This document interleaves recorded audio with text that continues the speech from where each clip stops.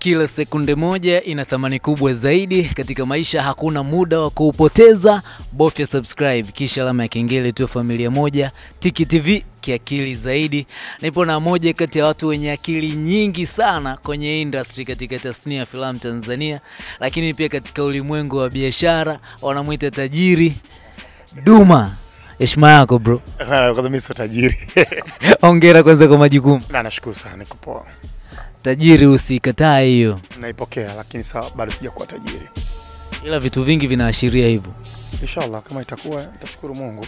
Tumeanza kwenye filamu, kuanzia kwenye series, imekuja kwenye personal. Baada ya hapo umefanya za kwako nyingi, alafu watu wanajiuliza huyu mheshimiwa, mbona hatuelewi chanzo chake? Ah, la, labda sifahamu kipi ambacho hawaelewi, lakini ukiwa ukiwa ukiwa na ni shabiki wa Duma au mdau wa kazi za Duma utakuwa unafahamu hustling na kile ambacho anakifanya na anapambana usiku na mchana. Mafanikio yamekuwa ni makubwa tofauti na wasanii wengine. Kuna kuna siri gani ambayo Duma yeye anaitumia? Naamini na pana mafanikio ya kawaida tu ya kawaida tu ambayo mtu mwingine yote akipambana anaweza kufikia. Yeah. Kwa haraka haraka, kuna filamu za kwako peke yako ambazo ni nyingi pia ambazo zina zinadaiwa zi, zimeshatoka, zingine zipo pia store. Kuna ukweli katika hilo? Yeah, tuna filamu nyingi zaidi ya 40 ziko ndani mpya. Gharama ya kutengeneza, kutengeneza filamu moja huwa ni kama kiwango gani hivi, kutegemea na bajeti ile ya kawaida ya chini? Inategemea na story, lakini hatujakaa tukawa tukamaliza sababu tuendelee kutengeneza. Tukishamaliza naanza mpaka mwezi wa 12 tarehe 30 tosha- tutakuwa tushamaliza. So lengo ni za filamu za mwaka huu, tunaangalia tunapiga bajeti, tumetumia shilingi ngapi kutengeneza filamu ngapi. Baada ya hapo tutawaambia. Lakini soko limepanda na bei ya filamu pia katika kuziuza kidogo ni nzuri. Ni kweli katika hilo? Inategemea wewe product zako unatengeneza vipi na unauzia wapi. Kila mtu ana soko lake, kila mtu ana soko lake. Kwa hiyo Duma kama Duma ana platform nyingi ambazo anauzia filamu zake, lakini kwa upande wangu hali si mbaya sana, kidogo na hau- ha- yeah. Filamu 40 tukiziuza tunakuwa na, na, na gorofa Kariakoo pale. No, haziwezi kuzika zote kwa pamoja, lakini unatakiwa tu na stock. Unajua sifikia hatua leo Duma anaumwa afu mwambie mchangeni Duma, umeelewa vizuri? Kwa hiyo unakuwa na akiba. Uh, mimi uh, kama producer filamu kuliko hela kuweka benki, lakini ni bora niwe na filamu nyingi ndani ambazo ile pesa ambayo nimewekeza ikija mtu anahitaji filamu kwa sasa, ile pesa na dabi mara mbili au mara tatu. Kitu gani ama changamoto gani ambazo unazipitia katika uandaaji na utengenezaji wa filamu hizo, kwa sababu inaonekana umefanikiwa pia kuwa karibu zaidi na wasanii wakubwa waliotangulia, wazee wetu wale, tena wanakusifia pia, ndio maanake mi nikajua kwamba una filamu nyingi na nzuri. Nikupe pongezi zako kwanza upande huo, lakini ni siri gani ama ni, ni kitu gani ambacho yani mafanikio yako katika kuwapata wale na kufanya nao, kwa sababu inasemekana pia unawalipa vizuri. ya kikubwa zaidi ni kuheshimu uh, kila mmoja kwa nafasi yake, lakini pia kikubwa zaidi ni kuhakikisha kuwa unafanya kazi na kila mmoja wao kwa heshima uh, lakini pia kujituma nako kunavutiwa na watu wengi kufanya kazi na wewe uh, lakini pia Duma Film si kampuni ambayo utafanya nayo kazi, kazi itakaa ndani, itaonekana tena. Tuna uhakika wa masoko ya kuwauzia filamu na filamu zikaonekana, na kubwa zaidi ni tunaandaa kazi za tofauti sana, hata stori zetu, location. Kama ukija hapo kwenye ofisi zetu utakuta kuna location nyingi zinatengenezwa hapa, na lengo ni kuhakikisha kwa watu wanakuwa wakubwa kiakili, kiutengenezaji na kiuigizaji pia. kama ambavyo wewe umekuwa mkubwa katika sekta ya uigizaji, unafikiri kwa nini wasanii wengi wanaoigiza wanashindwa kuwa wakubwa ukilinganisha na wasanii wanaofanya bongo flava? Mm, wasanii wengi wana, wana, wana, wasanii wa filamu wengi wanapenda shortcut. Wasanii wa mziki muda mwingi wanaona wenzao walikotokea. Mafanikio ya mziki mengi yapo wazi, lakini watu wa filamu wengi wanajificha ficha. Sasa hivi filamu unaweza ukatoa filamu ya Kariakoo ikatoka Kariakoo, watu amba, watu, watu Kinondoni wasipate, watu wa Mbagala watu wa filamu watu wa Kinondoni wasipate, na wewe mtu akawa star kule. Kwa hiyo sasa mziki unapigwa sehemu zote na watu wanaona. So kwenye filamu za kampuni yangu zinaonekana kwa watu wote. Kwa hiyo tatizo kubwa la wasanii wengi wa filamu sio uvumilivu, wanapenda shortcut. Yaani ukimwambia msanii wa filamu kaja, bwana wewe uigizaji wako bado mdogo. Hapa Duma Film tuna darasa Jumamosi na Jumapili, njoo upate kidogo msasa, ili ukifikia siku ambayo unakaa kwenye kamera unakuwa upo strong, na hata kile kazi ikija kuonekana inakukuza na kukutangaza. Hawana muda huo, wasanii wengi hawana muda huo. Anataka akija leo eh, kesho aingie kwenye kamera ashute, aondoke. Tendo problem. Ukimzungumzia Duma wanayemwita tajiri, wengine wanamwita aka Ginimbi, ni moja kati ya watu ambao wana filamu nyingi kama hizo ambazo kashazungumza, zaidi ya 40 zipo store na nyingine zinaendelea kutengenezwa, lakini pia ana biashara pia. Mbali na biashara, ana tamthilia pia. Inaitwa inaitwa tamthilia ya Chenga, na biashara zake pia sasa hivi amekuja na Duma OG nimepita dukani kwake pale, kuna baadhi ya vitu fulani hivi kanibariki navyo, na wewe mwenyewe pia unaweza ukafika. T-shirt kali kabisa elfu kumi trouser kali ni elfu kumi na nane Viatu hivi vipo Ni viatu vipo vichache, lakini mzigo mwingi unaingia nadhani this week. Yeah. Sasa. Tukiendelea kuzungumzia huko katika vile ambavyo anavifanya, unapata vipi muda wa kumeneji kazi zako, kumeneji biashara, ukitofautisha kuna series ambazo zinaendelea, kuna tamthilia vile vile. Yeah, of course kwanza kazi zangu nyingi nafanya na watu na management yangu nafanya nao kazi na timu yangu ambayo uh, kwenye timu yangu kila mtu anajua majukumu yake. Na kabla ya kufungua Duma OG tulikaa chini kama timu kama kamati tukaandaa majukumu eh, tukaandaa ratiba na tukaweka wafanyakazi vizuri na kila kitu kinakwenda vizuri kabisa. Nikupongeze kwanza, japokuwa hizi pongezi zinakuja late, katikati pale tuliona kama tukasikia kwamba Duma kaoa na vitu vingine kama hivyo vikapita yakawa mengi yale. Hebu kidogo tu, tupate undani wake kwanza, ilikuwaje na inaendeleaje? No, kwanza sijaoa e, ila nina mchumba mtoto mzuri Mishidora from Nairobi, na Watanzania wanafahamu na East Africa nzima na Afrika nzima kwa ujumla uh, wanafahamu. Uh, kuoa sijawa, ila ikifikia hatua kuoa nitawapa taarifa. Hongera tena na hizo taarifa, mimi najua pia tutazipata na tutakuja nazo pia kupitia Tiki TV.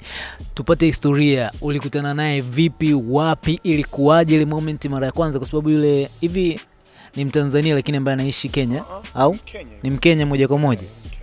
Okay. Uli moment ya kwanza kujuana naye ilikuwaje? Kitu gani ambacho unakimisi kwa sababu sasa hivi si hayupo Bongo eh? mm -hmm. Ya, cha kwanza mi na Mishidora tumeanza mwaka elfu mbili na kumi na saba nikiwa na nilikuwa nafanya kazi Nairobi na Mombasa. Tulikutana kwa sababu naye ni msanii, kulikuwa na project tunafanya pamoja, tukafanya Nairobi, tukakutana, baadaye akaja Mombasa, ndipo mahusiano yakaanza hapo. Baada ya kazi kuisha, kwa na mimi nikaenda Nairobi, nikaenda Nairobi, Mombasa, kwao mahusiano yakawa hivyo. Kwa hiyo Nairobi kule nafahamu sana mahusiano yetu muda mrefu, ila yakuwa ni post, mimi kawa post kutokana na mkataba ambao nilikuwa nao na ile kampuni. Walikuwa wataki ni post mahusiano kwanza, ni post sana kazi zao ambazo nilizokuwa nafanya. Baada ya hapo tuka take time kidogo na Nigeria kufanya kazi, na mimi nikaa bongo kidogo na hapa na pale, mambo kufunga kampuni. Baada hapo ilikuwa Nigeria, mimi nikasafiri nikaenda Dubai, nikaenda South Africa, nikaenda India. Kwa hiyo mimi nilikuwa na project zangu. Kwa baada ya kurudi sasa tukapishana kidogo Kiswahili, lakini baadaye tukasema bwana, hebu tuendelee na mahusiano, naona kama yako serious hivi, naona kama hizi couples zina match. So nikamwambia njoo Tanzania, nikamvesha pete na watu wakagundua kuwa ni mchumba halali wa Duma kabisa. zile zile clip na zile picha ambazo zilitrend, kwa sababu kwanza zilitrend sana, tofauti na kawaida, kwa sababu Duma moja kwa moja hakuwahi kuonekana kuwa mtu wa aina ile. Ilikupa changamoto gani situation ile? Na kupigiwa simu natoka karibu, kuna wengine viongozi wa nchi ya kiserikali, ni rafiki zetu, na watu tunaheshimiana. Huyu vipi, kwaje, mbona una hivyo? Nikamwambia no, hii ni hali halisi na na kubwa zaidi kwa ni mke mtarajiwa, sio msichana tu ambaye mna date, labda ni mke mtarajiwa ambaye anatakiwa official, watoto waone na wajue, kwa sababu watu wengi walalamika bwana na walini kama kuna watu wengine wanasema mimi mchawi, labda ndio maana sioi, sionekane mwanamke, labda eh, nikionekana labda nitaua. Yaani kuna vitu vingi vilikuwa naongelewa hapo, lakini kwa nilikuwa nahitaji mtu sahihi ambaye najua nikimwonyesha kwenye jamii atakuwa anatija na ana faida kwenye maisha yangu pia. Ana tofauti gani na wanawake wengine ambao uliwahi kuwa nao? Ah, no, yeye yupo kama yuko na, sawa na wanawake wengine, ana tofauti sana, lakini kubwa zaidi ni kapo yetu, mimi na yeye zaidi, Eh, labda tunafanana na akili na mawazo pia eh, eh, lakini pia lakini pia ni mwanamke kama wanawake wengine, lakini yeye ana vitu fulani special vingi sana vina vya, vya chumbani, siwezi kuvizungumzia hapa nitaona mnadi mke wangu, so so kitu kizuri ya. Kitu gani kiliongezeka mara baada ya zile clip na tukio lile kutembea zaidi, ama kilipungua kwako kibiashara, lakini pia katika hali ya kawaida kabisa ya maisha halisi ya Duma? Ah, cha kwanza akijapungua kitu bali kimeongezeka, lakini pia changamoto zimeongezeka zaidi, matusi, kutukana kwenye mitandao. Eh, Mwingine anatafuta namba yako kujua kupiga simu kutukana, mwingine akufuata DM na umjui inakia kutukana matusi, lakini wengine wanakusifia. Lakini uzuri uh, watu wengi wanaofahamu Duma before wanajua nipo strong. Napoamua la kwangu huwa nimeamua, yani hata atokee nani atokee nani, hapana. Uh, kama jambo langu sivunji sheria, katiba ya Jamhuri ya Muungano wa Tanzania huwa nafanya, lakini pia uh, tumeongeza mashabiki wengi sana from Nigeria, wapi wapi, kwa sababu yana mashabiki wengi na mimi na mashabiki wengi. Kwa hiyo yani kapo yetu ime, imeendana kwa sababu sasa wenyewe itashemeji na, na- Nairobi. Kwa hiyo kwa Nairobi wote wanajua ni shemeji yao. Una, unaamini mapenzi yanaua? Mm, uh, siamini kwa sababu sijawahi kuona tukio, sijawahi kufuatilia, ila kama lipo basi inawezekana yeah. Tukio gani katika upande wa kimapenzi limewahi kumchanganya zaidi Duma? Mm, mwaka elfu mbili na kumi na nne. Kipindi ambacho nimepotelewa na mamangu mzazi, nilikuwa na mtu kwenye mahusiano naye ambaye mpaka marehemu mamangu kama mfahamu, lakini kipindi ambacho mi nimefiwa, sinajua tukiwa ndo mtu kanaye mpene faraja na nini, lakini yeye ndo ikawa ndo stress, unajua zile mtaji muda wote mu close, lakini mzako mara atakwenda huku mara atakufanya hichi mara, unajua zile stress, mwisho wa siku abidi ni give up, right, stop kwanza, hebu niache kwanza, kwa nikakaa miezi mitatu bila kuwa na mahusiano wala nini, yani nikatulia tu kwanza.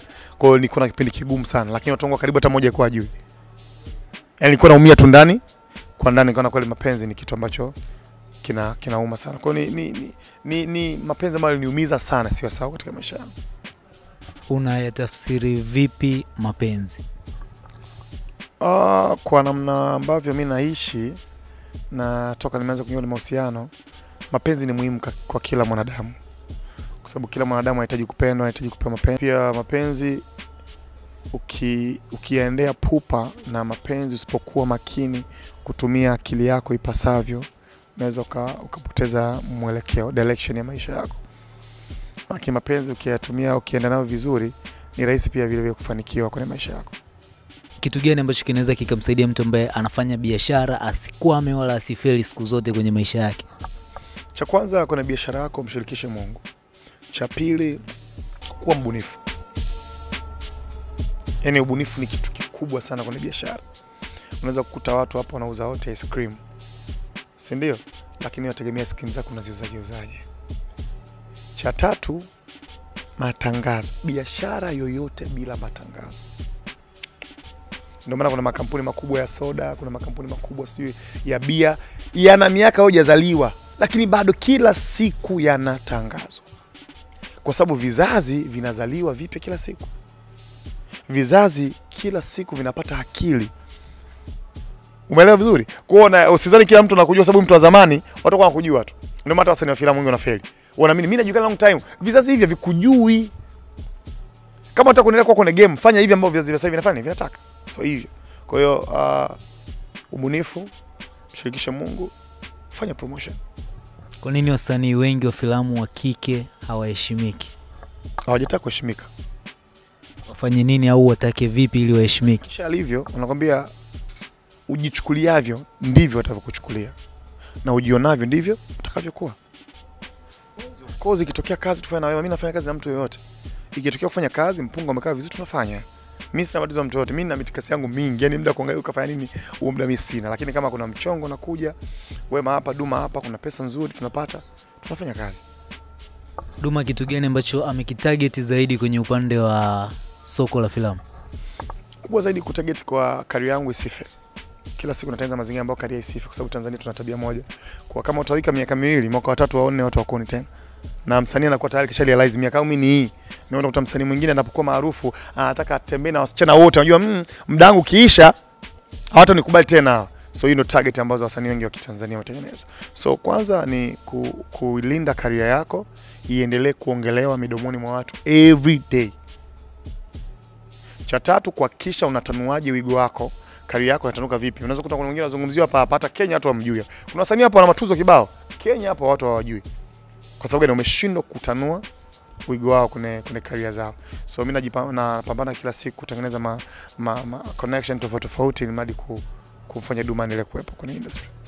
kila mtu ana jicho lake la kuona vitu na pale ambapo inapoonekana opportunity ndio sehemu pekee ya kumeki pesa wengine wanaita upenyo wengine wanaita goli kama vile ambavyo uliona goli katika upande wa filamu ukalifanyia kazi ukaliona goli katika upande wa online tv ukafanyia kazi ukaliona goli pia katika upande wa series umefanyia kazi umeliona goli katika upande wa mavazi vile vile umefanyia kazi. Sehemu gani nyingine ambayo unaiona opportunity? Mtu mwingine akiangalia hivi au unaweza ukaambia watu jamani kule na kwenyewe mi naziona hela ila na, nakuja Sasa ujinga au tofauti wa kwangu mimi nipo tofauti na watu wengine. Naona kila siku opportunity, lakini siku niki, ikija nikaipatia ufumbuzi muda huo huo, kama nina pesa ya kuweza kufanya hicho kitu nafanya, kwa sababu hata nguo kiasi kunajua najua muda mrefu. Nisema nitafungua duka la nguo toka mwaka 2017 lakini nimefungua mwaka 2020 haitokea tu, wala sikuwa na ratiba kwa mwaka huu, wala sikuwa na ratiba hiyo, lakini ilitokea nikaona hapa kuna hichi kuna hichi kuna hichi, naweza kufanya hichi na hichi na hichi kaa hivi, hii kwa kipindi kifanya, yani mahesabu tu yakaja, kakaa timu yangu na kuamini timu yangu, nikamwambia tafuta flame, tukapata hapo eh, nikamwambia narekebisha, hawaaminigi, nikamwambia naingiza mzigo leo, kwa hiyo mpaka duka limefunguliwa hapo leo na siku ya tisa, hakuna naamini. ni kweli kwamba mziki unalipa kuliko filamu kwa, ta, kwa uchunguzi wako? Vyote vinalipa the way tunaofanya kipi kinalipa zaidi? Vyote. Mimi uzuri mziki sijafanya, ila na matarajio ikitokea kama kufanya nitafanya, lakini sijafanya mziki, lakini movie nazo zinalipa kama utajipanga vizuri. kwenye mziki unamwangalia nani? Wote unamsikiliza nani zaidi wote nawasikiliza. Mimi sichagui nyimbo ya mtu. Mi tofauti yangu kubwa, siangalii mtu. Sis- Mi si- si- sisikilizi mziki kwa sababu kaimba fulani, nasikiliza mziki kwa sababu mziki mzuri umenivutia. Unaweza kuta nyimbo nasikiliza mbaya kwako, mimi zangu nzuri. kitu gani ambacho ukiulizwa unakasirika Mm, kitu ambacho sipendi kuulizwa uh, utofauti wetu mi na msanii mwenzangu ambao watu wengi wanafahamu hilo wanajua tuna tofauti lakini sina tofauti lakini uh, ukuta kila mwandishi wa habari hata kuuliza swali hilo hilo. Unajua nyinyi waandishi wa habari hamna maswali mengine? Uh, uh, sio ma creator hamwezi kubuni maswali kwa msanii. Kwa hiyo ndio kitu msipendi sipendi kuulizwa kuhusu wasanii wenzangu. Yani nimzungumzie mtu mwingine wakati mimi mwenyewe ni content. Why? Mimi sina time kumzungumzia mtu. Asante sana kitu gani pia watu ambacho unatamani wakijue kipya sasa exclusive kutoka kwa duma siku ya leo kupitia tiki tv Ah, cha kwanza wafahamu Duma na duka la nguo linaitwa Duma OG linapatikana Mwananyamala A iko na hospitali. Lakini pia nimeangalia maisha ya Watanzania uh, kwa sasa hali uchumi sio nzuri sana, lakini wanapenda kuvaa vitu vizuri. Ndio maana tumeita Duma OG, maana Duma OG, Duma ambaye ana kitu original vitu vyake. Lakini pia nimeangalia uchumi, nimeuza jeans shilingi elfu kumi na nane, t-shirt shilingi elfu kumi. Hicho ndio kitu ambacho watu wengi hawakifahamu na siku za mbele wataendelea kukifahamu zaidi, lakini kupitia Tiki TV leo hii wakifahamu. cha mwisho kabisa kama shukrani na pengine walipokutoa mashabiki na walipokufikisha inasemekana mtaani hizi ni komplimenti zako nakuletea kwamba wewe ni moja kati ya mtu ambaye ni star unajiheshimu lakini unawaheshimu zaidi mashabiki hizo nimekuletea kwa sababu nimekutana nazo nimeulizwa kwamba unaenda wapi mimi naenda kufanya interview na Dumi. yule jamaa ana heshima sana alafu hata katika kazi zake pia anazi, anazingatia analipa pia vizuri nikasema kweli Ya, yeah, of course kwanza unajua mimi uh, mpaka nimefika hapa mashabiki ndio wamenifikisha, sio mimi. Eh, unajua nime hustle long time. Nimeigiza kabla ya Siri ya Mtungi, lakini Siri ya Mtungi leo ndio imeniweka mimi hapa. Kwa maisha yangu yote, ndio maana ofisi yangu yote, uh, dukani, nyumbani kwangu kuna logo Siri ya Mtungi. Yaani Siri ya Mtungi ndo Duma, yani nasema mimi imewatoa watu wengi, lakini Duma imemtambulisha zaidi. Umeelewa vizuri sijui. Kwa hiyo mimi mtu akiongelea vibaya Siri ya Mtungi hata tutagombana. Kwa hiyo kikubwa zaidi nimefundishwa vitu vingi, kuheshimu watu, kuheshimu mashabiki, lakini pia mashabiki wanapambana sana na mimi. Kuna watu huko mtaani wanazungumzia vibaya, kuna watu wengine mpaka wanapigana kwa sababu ya Duma. Aa, kama ilikuwa Jumapili ya tarehe 22 jana 22 21 niliwatangazia watu kwenye social media zangu zote Duma, OG, Duma OG, Duma TV na Duma Actor kwa nitakuwa dukani kwangu. Kiukweli mashabiki walikuja wengi sana, wengi tumeshow love pale, tumepiga picha, waliofanya shopping wamefanya, wengi wamekuja kuniona kupiga story, so hilo ni kitu ambacho naona kabisa okay, mafans bado wana support kile ambacho nafanya. Kwa siku ya leo tunaishia hapo. Tuendelee kusapoti pia Duma OG. Ukisapoti pale unajisapoti nawe mwenyewe, kwa sababu vitu ni original, havichuji, alafu ni chambuu ulisema Yeah. nimefika pale mwenyewe katika vile ambavyo nimechukua nitaka kuchukua viwili kwa sababu ni vikali zaidi. Ila nimebahatika kupata kimoja kimoja ila classic yani sitakutana na mwenzangu. Kwa hiyo nawe unaweza ukafika kama ulivyoambiwa ni mwananyamala a kona ya hospitali. Unafika unajichagulia pale kumi na nane trouser kali kumi t-shirt kali. Mimi naitwa kelvin shayo na hii ni tiki tv kila sekunde moja ina thamani kubwa zaidi. Katika maisha hakuna muda wa kuupoteza. Bofya subscribe kisha alama ya kengele tu familia moja. Tiki tv kiakili zaidi. Bye bye kwa sasa tukutane katika exclusive nyingine. Kama kuna kitu ambacho ulitamani kukisikia kutoka kwa duma na haujakisikia drop comment yako hapo chini mimi nitaifanyia kazi. Nipo kwa ajili yako. Bye bye kwa sasa